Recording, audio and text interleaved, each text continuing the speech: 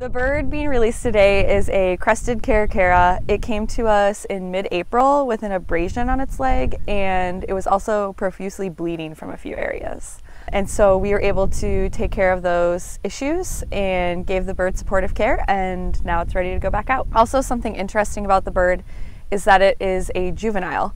So since it's at the beginning of its life, um, it will be able to go out and produce more members of the ecosystem. We're releasing it in Live Oak Park uh, here in Ingleside, Texas, which was the best natural area as close to where we got the bird from. If you see an injured bird and you can safely put it in a container of some sort, it can be a cardboard box, a dog crate, anything like that, uh, cover it so that it's cool and dark and quiet and just leave the bird alone, um, then please call our hotline number at 361 881 1210 and we can talk you through the rest of the process.